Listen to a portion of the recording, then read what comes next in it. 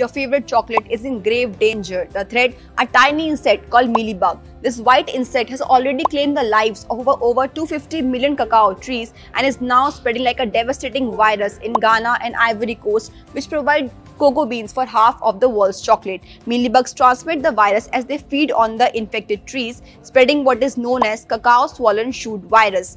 Traveling is very easy for these bugs who can be carried by ants or blown by the wind. They cause nasty symptoms like swollen shoot, discolored leaves and distorted growth. The trees see a loss in production and within a few years they die. As per a study, this virus is causing a loss of as much as 15 to 50% in cacao harvest in Ghana. Now talking about killing the virus, it is not so easy. Pesticides are failing, forcing the farmers to cut out the infected trees. Though vaccination is an option, but the high cost makes it less viable. In addition, vaccinated trees see a loss in production. The study proposes the solution of strategically spacing the trees to prevent mealybug infection. Another suggestion is to create herd immunity through vaccination. However, if a solution isn't reached, you should be prepared for scarcity in chocolate supply.